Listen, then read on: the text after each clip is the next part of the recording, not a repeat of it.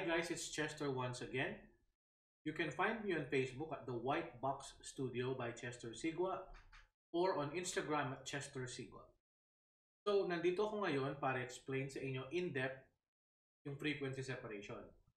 Para sa akin kasi, ah, mas maiintindihan nyo at mas malalaman nyo kung paano gawin ng mas maayos yung frequency separation kung naiintindihan nyo yung bawat setting na nilalagay nyo.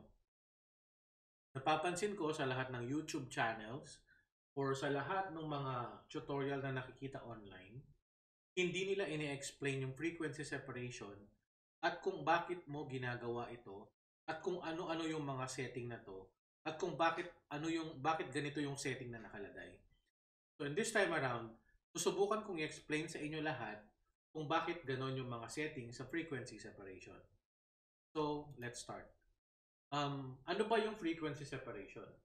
Yung frequency separation is yung process ng paghihiwalay natin ng tones o yung kulay at texture o yung detalye ng picture. So, meron akong picture dito na example na medyo nalinis ko na ng konti. Pero it will benefit yung frequency separation. Normally, ginagamit ko itong Retouching Academy panels. Pero this time around, explain ko sa inyo isa-isa yung bawat step sa paggawa ng frequency separation ng mas maayos. So pag nag-uumpisa tayo ng frequency separation, ginagawa muna natin is initial cleanup. So meaning, lilinisin mo yung picture na i-edit mo manually. So gagawa ko ng new layer. Lalagay ko dito is blemishes. And then, I'm gonna use healing brush tool. Yung sampling ko is current and below. Tapos, hahanap lang ako ng blemish na gusto kong tanggalin. Like for example, ito. Kuha ako ng um, sample dun sa malapit na skin sa kanya and then bakit ko ginagawa yon before frequency separation? Bakit hindi na lang during frequency separation? Ang rason doon ay, for example, yung pimple mo, it consists of colors and texture. So may kulay siya at may detalye siya. So kung gagawin mo yung frequency separation, dalawang beses mong tatanggalin yung pimple na yon. As opposed, dun sa initial cleanup, kung tinanggal mo na, katulad ng ginagawa ko ngayon, hindi madodoble yung trabaho mo. So basically, mas madali, kung tatanggalin mo muna lahat ng malaking blemish, and then babalikan mo na lang later yung mga maliit o yung mga hindi mo pwedeng tanggal uh, using healing brush. So, yun. So, na-clean up ko na to kanina. Uh, before and after. Konti lang yung tinanggal natin. So, mag-start na tayo sa frequency separation. I-merge ko lang tong layer na to. It's control para mag-merge sila. And then, I'm gonna create a duplicate. So, control J. Dalawa. Command J sa Mac. Yung layer 1 natin, gagawin natin color. Yung name niya. Layer 2 natin is texture. So, di ba, yung frequency separation is pagse-separate ng texture and color. Paano malalaman kung alin yung texture at alin yung color? So, ganito yung frequency para siyang wave. Ito yung low frequency. Ganito naman ang high frequency. Ibig sabihin, ang low frequency, mas mabagal yung pagpapalit niya ng value. Ang high frequency, mas mabilis. Okay. In terms of the photo, paano mo malalaman yon? Ganito, mag-zoom out tayo. So, kapag low frequency, meaning mabagal, ano yung makikita mo? Tulad nitong skin tone niya. From light, naging dark. Pero malayo yung tinravel para maging light and dark. So, ibig sabihin, mabagal yung frequency niya. So, makikita nyo, from light to dark, malayo yung tinravel niya sa picture. Meaning, mabagal yung pag-change ng values ng kulay. So, that's what we call um, low frequency. Ngayon, kapag high frequency naman, katulad ng detalye dito sa mata, makikita mo may papalit-palit ng kulay na maliliit. Yung ganito.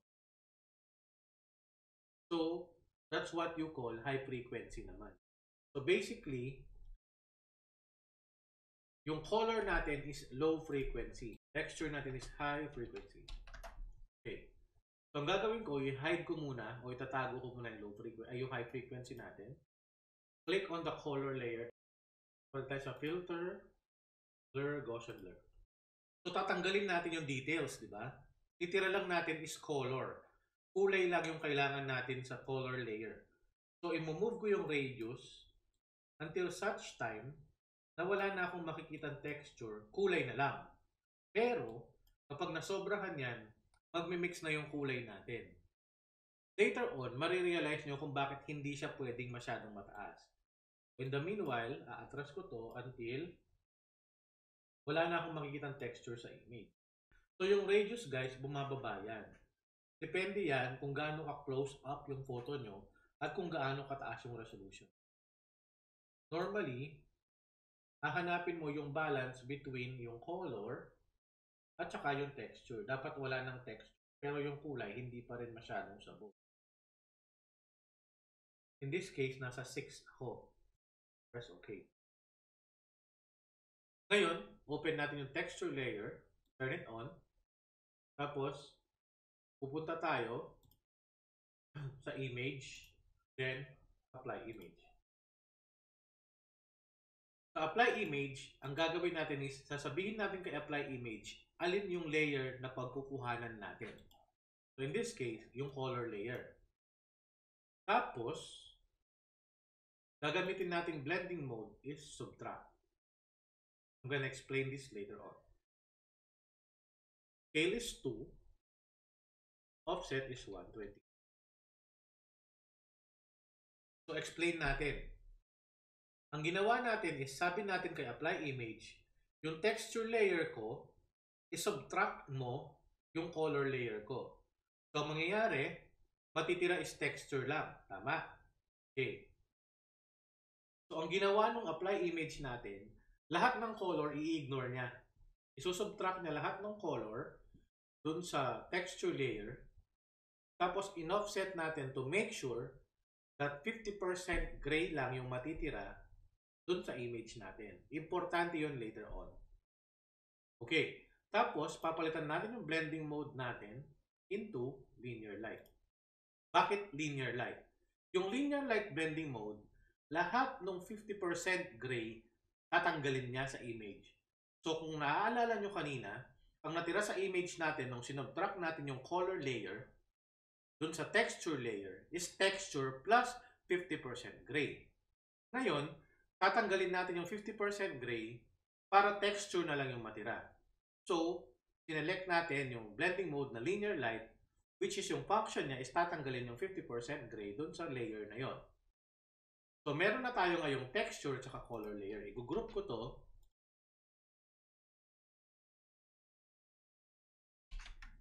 I'm gonna rename them frequency separation. Okay. Ngayon, mahilig ako sa non-destructive editing. Meaning, ayokong pinapakialaman directly yung layer na ginagalaw ko. So, gusto ko, pwede ko pang balikan yun later on. So, mag magagawa ako ng bagong layer on top of the color layer and then, lalagay ko na lang dito adjust colors here. Same sa texture, new layer, adjust texture here.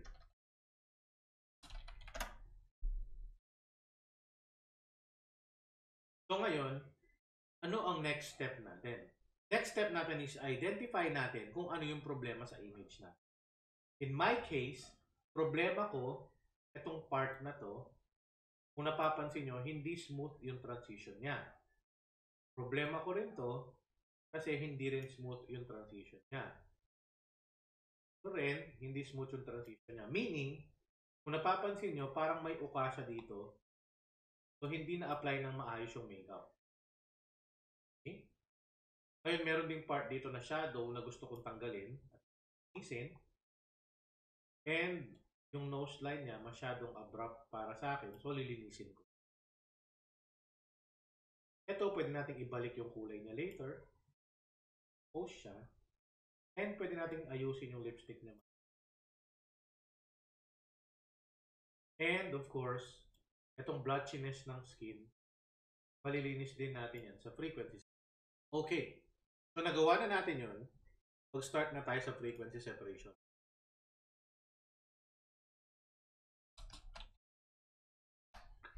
So, yung color or tonality ng image natin,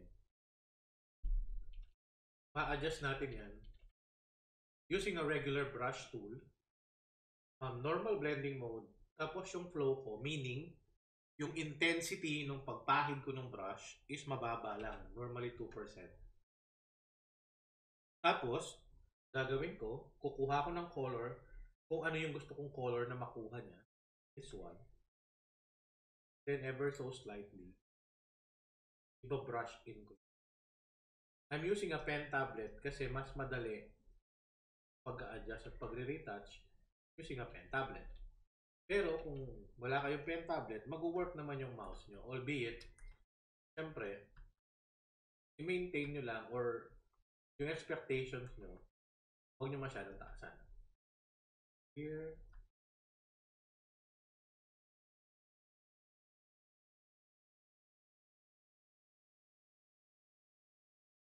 kung nakikita nyo, napaka minimal nung nangyayari. Pero makikita nyo later na malaki yung changes. Yung key sa proper retouching is subtlety. Meaning, dapat yung pag-retouch mo, hindi siya halatang na-retouch. Malinis lang siya, pero hindi siya halatang na-retouch.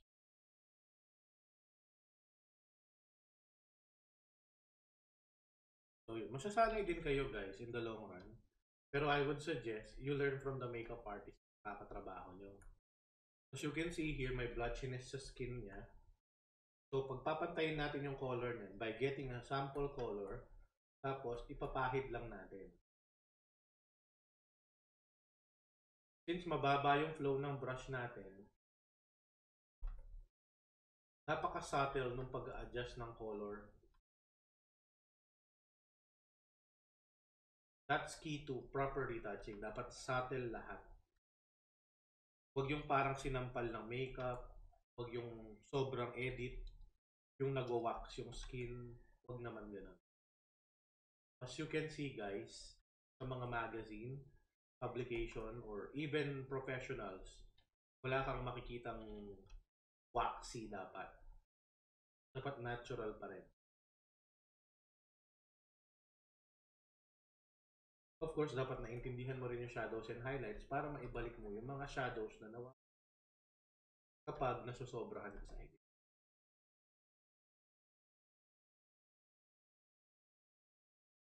So, yun yung frequency separation. Yun yung explanation niya kung bakit ganun yung mga settings niya.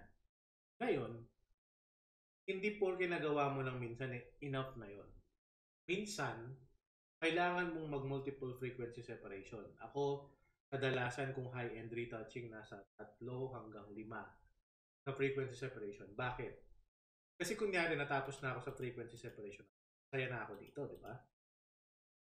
Kaso, may gusto pa akong i-edit na pinag-iisipan ko kung tama pa ba o mali. Ang gagawin ko is maggagawa na lang ako ng panibagong frequency separation saka ako mag edit doon. Para kung sakaling mali siya at hindi ko siya magustuhan, mababalikan ko na lang yung frequency separation na ginawa ko kanina. So, kunyari, duplicate ko na lang to. Kunyari, gusto kong palitan yung kulay or i-blend pa. Kaso feeling ko na sobrahan na. Ngayon, since na-blend ko na yon, mahihirapan na akong bumalik doon, di ba? Kasi nagawa ko na yun eh. Ang gagawin ko, pwede kong tanggalin na lang yung frequency separation ko na kinopya at babalik na lang ako dun sa nauna. Or, didelete ko yung, naun, yung, yung pangalawa, gagawa ko ng panibago, saka ko ulitin yung ginawa ko ng mas maayos. So, mas madali yung pagbalik dun sa mga pag... So, yun. So, textures naman, same issue. Pero in this case, instead na brush ang gagamitin natin, healing brush. Tapos, sampling is current and below kuha lang tayo ng sample ng balat malapit dun sa aayusin natin which is and i-healing brush lang natin.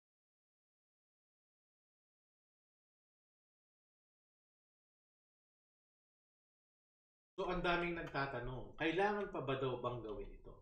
of course, kung gusto mong mag-improve yung gawa mo, you have to make sure na you're doing your best all the time. Hindi tayo pwedeng makontento dun sa pwede na. Dapat, makukontento pa lang tayo dun sa part na alam mong wala nang mabubutas sa ginagawa mo. Of course, maganda rin na nagpapakritik ka, iba, kasi malalaman mo rin yung point of Karamihan kasi sa atin ngayon parang napapansin ko, uh, kapag na-criticize sila ng medyo negative, nagagalit sila. And that's not supposed to be the case. Nang nag-uumpisa pa lang ako sa pagre-retouch and everything, lagi ako nabubugbog ng pero, instead of letting down, instead of fighting against them, nakinig ako dun sa sinasabi nila. Bakit? Kasi dun ka matututo. Kung nakikinig ka sa sinasabi ng mga nakikita mong magaling, matututo ka. Pero, kung nakikinig ka na lang dun sa mga taong ayaw pa lang ipahiya, well, wala mangyayari sa'yo. Might as well, kapag may nag-react, may nag-comment ng medyo negative, pakinggan mo. Then, alamin mo kung ano yung Kapag alam mong tama siya, makinig ka. Ngayon, kapag alam mong sablay yung sinasabi niya, ihayaan mo na lang. Pero huwag kang ma-open. Yun. So guys, I hope naintindihan nyo na ngayon yung frequency separation. And I hope din na may natutunan kayo sa mga pinagsasabi ko. And until next time, tuturuan ko naman kayo ng ibang tips and tricks sa Photoshop. By then, Goodbye. Don't forget to subscribe to my channel and uh, click the notification icon para malaman nyo kung meron akong bagong video. I hope you guys enjoyed this tutorial and I hope ma-share nyo sa iba para mas maintindihan nila kung ano yung frequency separation, bakit ganun yung mga setting niya, at kung paano mo pwedeng ayusin yung trabaho mo using frequency separation. Thank you guys. Goodbye.